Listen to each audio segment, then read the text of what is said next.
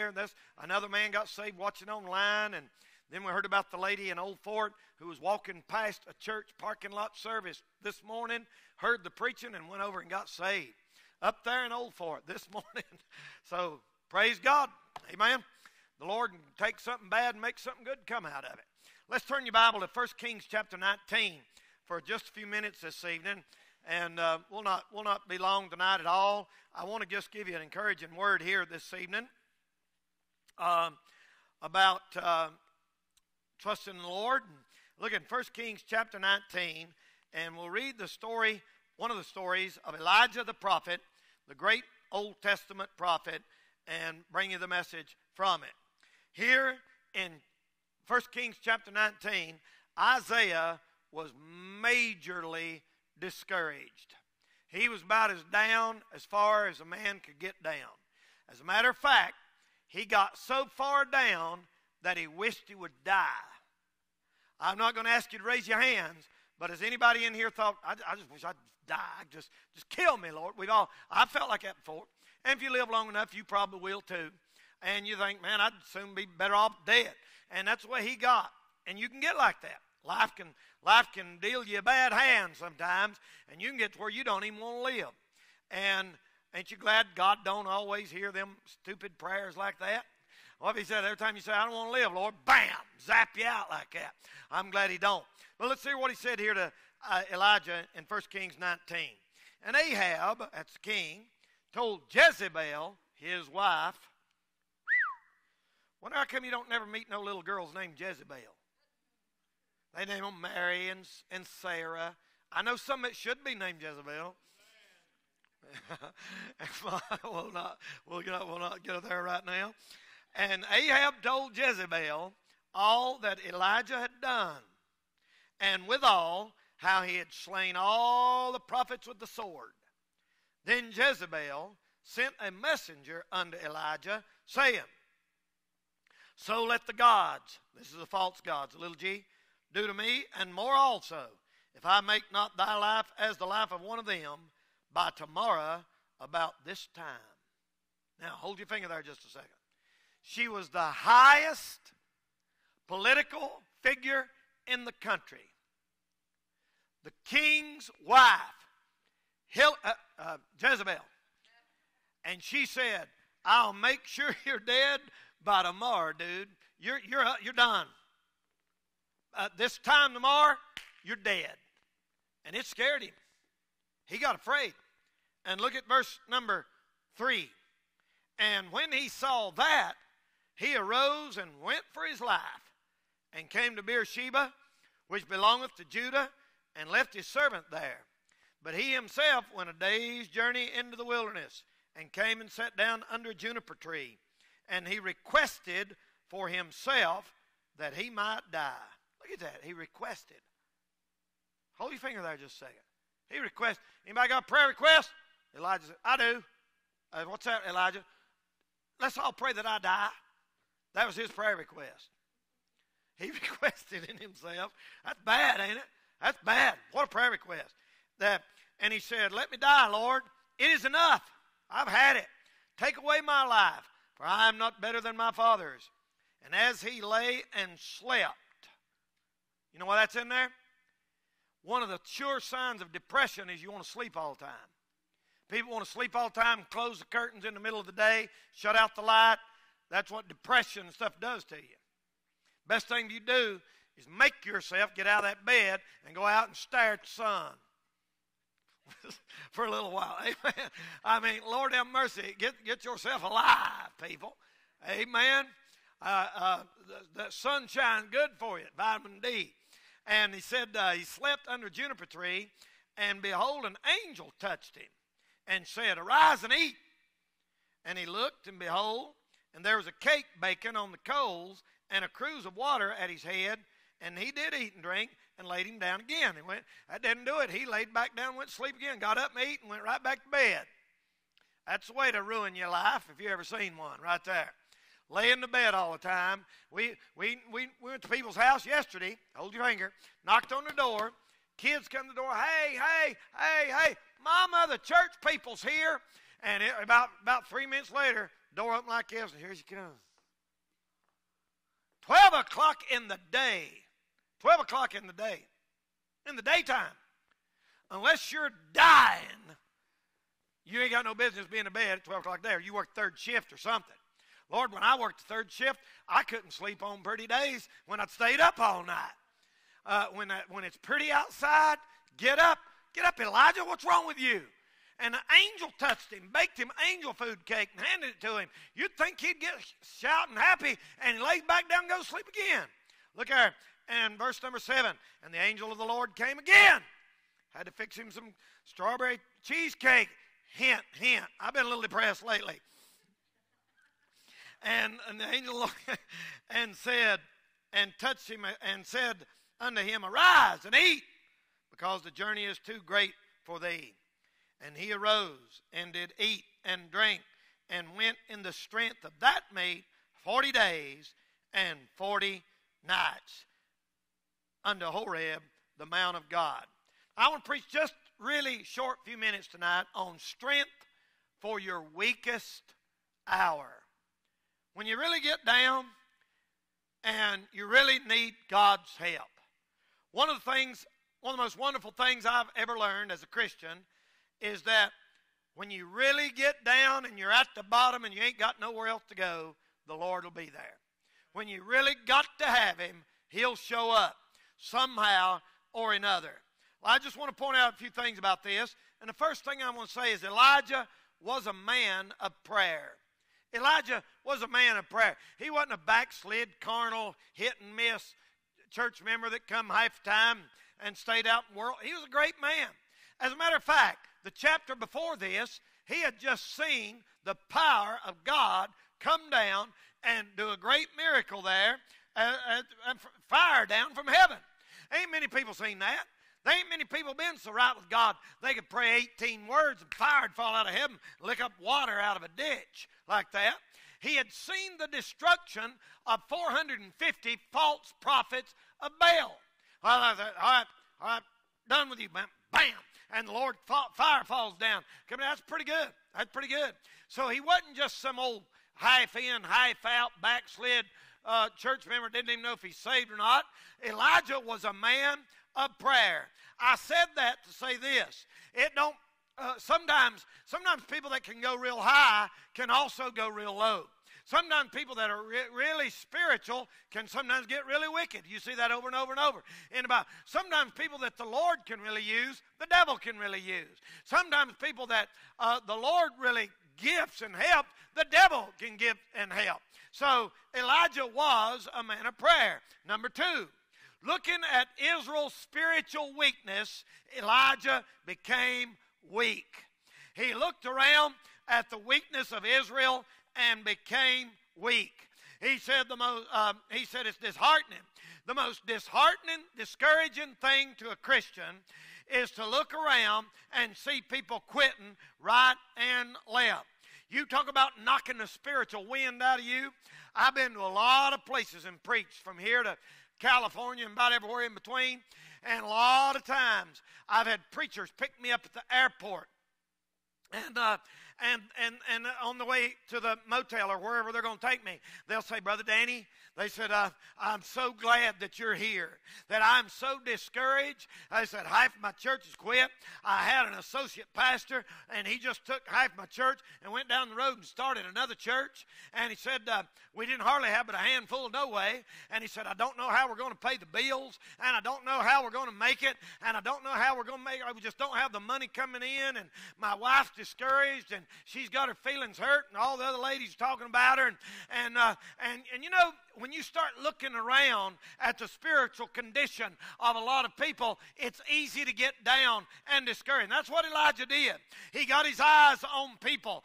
Instead of getting his eyes upon the Lord, he saw Israel, and Israel had broken their vows. Israel had forsaken the Lord. Israel had built altars to false God. And Elijah looked at that and said, "My, we're done. I mean, this, this, uh, we're sinking. This, we're going down. This over." And you can't do that. You can't get your eyes on what's going on around you. Ladies and gentlemen, may I say to you tonight, if all you did is watch the news and what they say on the weather and what they say on the news and everything's bad and we're never going to make it through this and nothing going to well lord you'd be ready to kill yourself. But i'm so glad and thankful that we got that we can look up that way. Don't look around this way. Look up that way. Looking unto jesus the author and finisher of our faith. Keep your eyes on the lord. Elijah he looked at israel's spiritual condition. He said man i ain't worth living. And then number three he heard the threat of Jezebel. The threat of Jezebel. Fear leads to depression. Depression leads to discouragement. Discouragement leads to a feeling of hopelessness and helplessness. I mean, can you imagine? I mean, uh, uh, Jezebel got on the news that night, and she was on there, and they said, uh, What do you have to say? And she got the microphone, and she said, I know you're out there, preacher, and we're coming after you. Do you hear me? We're coming after you. Elijah and somebody, uh, Eli, they said, Elijah, you better get turn on the news. And instead of reading his Bible and praying, he turned on the news. Big mistake.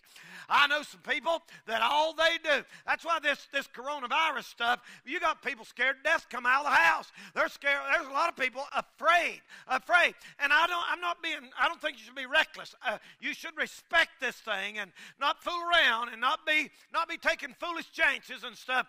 But we're not supposed to live in fear as Christians. We're not supposed to live in fear. If you, if all you do is watch the news, you, you'll be crazy. Uh, you'll be wanting to take pills to make yourself feel better. Ladies and gentlemen, uh, Jezebel got on there and said, We're going to get you, Elijah. We're going to get you. I mean, yeah, 300 people can go in Sam's at the same time, but only 10 can come and hear you preach, Elijah. And we'll look, we'll watch you for on them. That's what she was doing. She was after him. She was after him. She was after him. And Elijah got down. He said, God, how am I going to make it? God, how am I going to make it? God, I don't know. He kept hearing bad news, bad news, threats, and more threats, and more threats, and more threats. And she was on the news, and they were saying, We're going to get you, Elijah. And brother, he got depressed and got down and went out and laid down under a tree and said, Just kill me. I'll just die. Ain't nobody to hit me no way. Done lost everything. And I think the Lord said, uh, Didn't you just see fire come down out of heaven? Yeah, but that was probably just a coincidence. Probably wasn't even really you, God. I just got by. Now, you see what they're saying? She's going to kill me. She's going to have me killed. O.J. Frank Norris said, the two biggest enemies that a real preacher has is jealous preachers and big shot women. Big shot women in that order. And he said, uh, he said, I'm scared. Look at Elijah's conclusion. Everyone is backslid. I'm the only one serving you. Jezebel is going to kill me. Let me die. And you know what he thought? He thought I'm the only person. Now, now, now listen to me. Listen to me. Don't ever get to the place where you think you're the only one trying to do right. Because you're not. You're not. God's always got a bunch of people out there somewhere that's serving Him. I promise you tonight, we may not know them. We may live in the far countries of Africa, in the deep down in the jungles of South, Brazil, in the far up, up in Alaska. God's got people everywhere that are serving Him, living right. You're not the only one. I'm not the only one. God's got millions of people serving Him. He said, Elijah, you ain't the only one. You just quit feeling sorry for yourself. Uh, he said, I'm the only one serving God. Nobody else is living right. And number five, Elijah hears from God. So, he's down there in the tree like this, wrote out a, a will or whatever, suicide note or something. And he wrote down there and said, I've had it. I'm done give my Bible to my oldest daughter. Uh, give my uh, give my shotgun my middle daughter. Uh, uh, give my uh, bicycle or my motorcycle or whatever. Give this, give that. And he said, I'm just going to lay down and die. So he lays down like this. And the Lord said, um, One of you angels, come here just a second. I got a job for you. Yes, sir. What you need me to do, Lord? Go down there and tell that preacher to quit feeling sorry for himself and shut up. No, the Lord didn't do that. Sometimes God, it's a wonder the Lord don't knock our heads off. You know it, it really is. Uh, but he ain't he merciful to us? Ain't he good to us? Right? There's been a lot of times when I needed my head knocked off, and instead God blessed me. Explain that, buddy. That's mercy. That's goodness of God. And the angel comes down and said, uh, "Hey, preacher, where'd you come from? I don't see no camel, UFO. Something dropped you off here. How'd you get here?" And angel said, "Never mind that. Are you hungry?" He said, Well, yeah, I am, tell you the truth. He fixed him some cornbread, and he said, Come up and eat that. And he put some, put some uh, if you back then, he had uh, cornbread and buttermilk. That's what Daddy ate. I never ate cornbread and buttermilk. I eat cornbread bread and regular milk. I, I don't say anybody eat buttermilk. It looks like somebody's already eaten one time, y'all. I'm sorry, uh, but uh, it, uh, but I, I had cornbread and regular milk, and, and but anyway, uh, Daddy'd eat cornbread. He fixed cornbread, buttermilk, and he, and he said, "Now you feel better, preacher? Let's go preach." He said, "I'm just to lay down and die." He said, "Now wait a minute." Touched him again, picked him up. Elijah heard from God. Listen, when you get so far down that you think you have to look up to see the bottom. I've been there. Been there more than once. I've been down so far and I thought, and the devil, you know, once the devil gets you down, that's when he jumps on you like that. You know, it's like a boxing match. You know, them boxers, you know, they, they box like them, bam, bam, bam. And if they land a couple of good punches and the man goes, they go in for the kill, buddy. Get him down, beat his head, beat him to death, kill him. Why you got him down? If the devil ever gets you down, if he can get in your marriage, if he can get you to lose your job, if he can give you some kind of disease or something like that, he'll get you down and beat you to death. He'll get you down where, and right then, right then when you think you've lost it all, right then when you think nothing good can ever happen again, right then when when you think it's over, the Lord will send some help from on high somewhere. Somebody will knock on the door. Somebody will give you a phone call. I was going through a hard time one time, and um, uh, uh, I had a knock on the door. I felt just like Elijah. I to just lay down and die. And all of a sudden, I heard somebody knock on the back door and it was, a, it was an old boy from the church. And uh, sorry about that, camera woman's telling me to move. Uh, uh, was an old boy from the church, and he said, uh, he said, I brought you something, brother Danny. And he come in with a big old thing of country ham, about that big. And I used to love country ham. I don't, I ain't I still like it, but I ain't crazy over it like I used to be. We used to go to a place down here in Hickory. Some of you old people might remember it's called Mom and Pop's Ham House. And it used to be down there in Hickory, and you could go in there and get all you could eat. They just keep bringing it to you. And I'm telling you, brother, you talk about salty. Lord have mercy. I, you eat you, I'd be up three or four times a night drinking just glasses of water. It tastes like pure salt. Man, it's good. And we eat that cream style corn and them rolls and all that. Well, here he come in the back door with a country ham. I said, I don't want nothing. He said, You're going to eat? We're going to have a time. I said, No, I ain't hungry. I want to die. I, I just want to die. I've laid down under my juniper tree and I'm going to die. He said, No. He went in the kitchen and got out some pots and pans and started frying that, that country ham on the stove. Now, normally, that'll make your tongue slap your brains out. Uh, you know, when you smell that ham cooking in there, you ever got up in the morning, buddy? I mean, and, and they'll do it every time. She'll do it every time, especially when I'm fasting.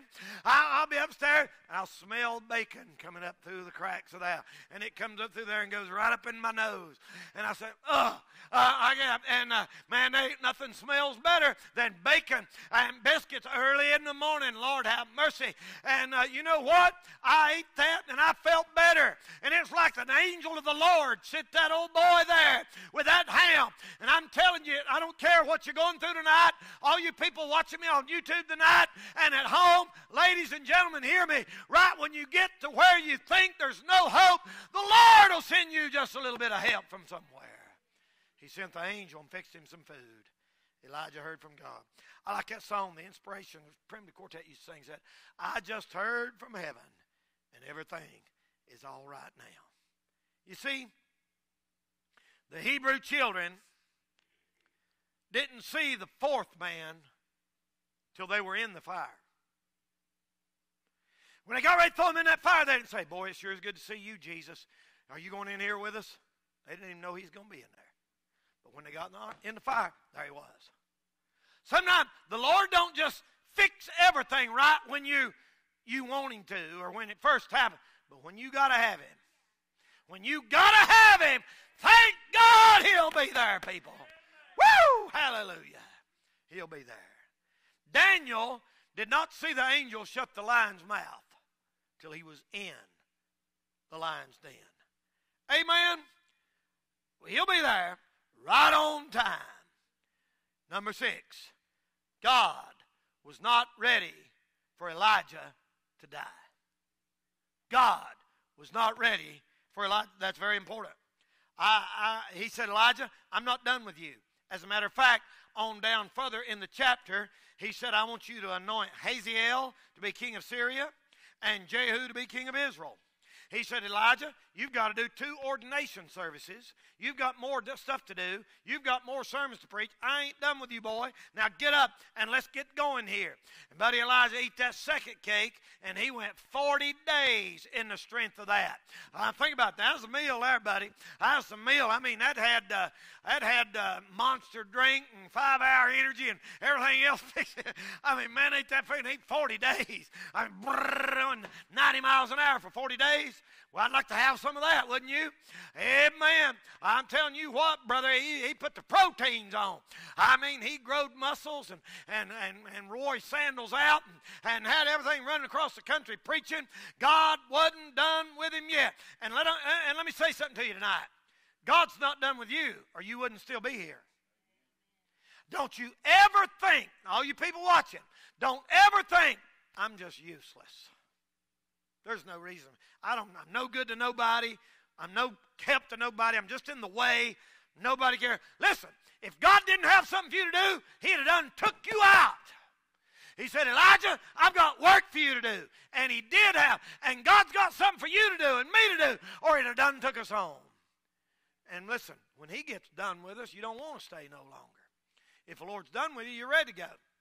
So God wasn't done. And then lastly, Elijah arose, ate, and was strengthened.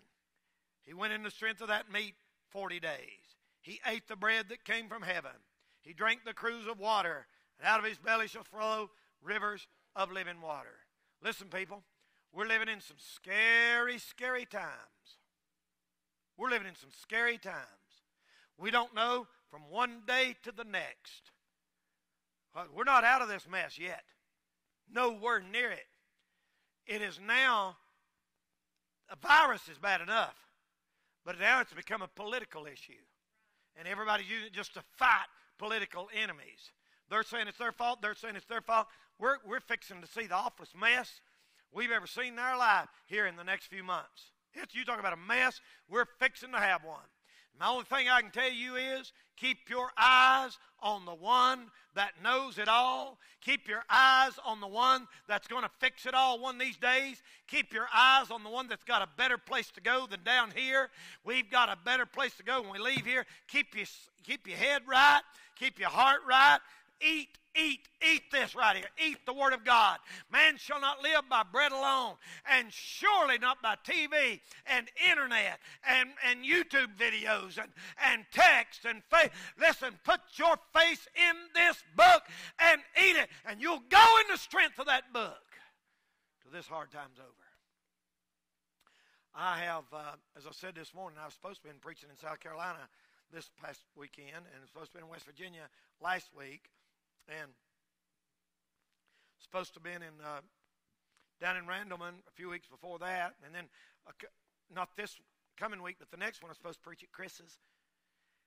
And because of that, I've had a little more time, not having a youth rally, to just sit and read my Bible. Not just to get my chapters read, not just to get ready to preach, just to, just to eat it and feed my soul and it has absolutely been wonderful. This week, I've been reading the book of Revelation this week. Got two more chapters. I finish tomorrow morning, Lord willing. And I've never had the book of Revelation seem like it opened to me like it has just this week. You know what? I can go in the strength of that. I can go in the strength of what I get out of that book every day in your life. Don't get in a hurry. Don't rush yourself. Do it early in the morning when your mind's clear. Open up that book and just say, Lord, speak to me through your word. Son, an angel will give you a cake out of there that'll keep you going all week long. That's strength for your weakest hour. I don't know who in here tonight or who's watching that might say, you know what, preacher? I'm sort of scared. I'm worried about all this stuff that's going on. Is God trying to tell us something? Well, there's no doubt about that. He is. And if you're listening tonight, maybe this might be God's way of speaking to you. Why don't you let Him? Let's bow our heads for a word of prayer. Everybody, bow your head, please. I just want to bring this little short message tonight on the subject strength for your weakest hour. Now, while your heads are bowed and eyes are closed, I want to ask you a question. Do you know, do you know for sure that you've been saved? She's playing softly. God's speaking to your heart. You say, Brother Danny, I don't know. Well, you better find out. You better figure it out before you leave here tonight. Because the Lord may be coming really soon. He may be coming really soon, a lot sooner than we think. Or you could die. You don't ever know when your last day is. People are dying by the thousands. Would you let them speak to your heart tonight? Right now, while your heads are bowed and eyes are closed, people online watching, as I said this morning, why don't you call upon the name of the Lord? You say, How do you get saved, preacher? The Bible said, Believe on the Lord Jesus Christ, and thou shalt be saved. Will you do that tonight? Will you do that tonight? Right now. Right now. Say, Lord, I know I'm a sinner. Lord, I'm sorry for my sin. And I believe that you died for my sins. And right now, right now, I trust Jesus Christ and Him only as my only hope for heaven. You say, Preacher, I don't know how to trust Him. Well, you say, there's no other way I can get there. There's nothing else I can do. There's nothing else I can say. If He don't get me there, I can't go. I'm trusting Him. That's how. Trust Him. Trust Him. That's how I'm going. And that's how you can go. Please do that tonight. Father, I pray right now you'd help that one of those who may be watching, maybe in some other country somewhere, I don't know, England or Africa or Australia or Canada or wherever they may be watching from tonight, some in Romania and other places. I pray you'd speak to that heart. Speak to that heart tonight, I pray. And I'll thank you and love you for it. In Jesus' name we pray and for his sake. Amen. Amen. All right. Amen. Okay. Now, before we go,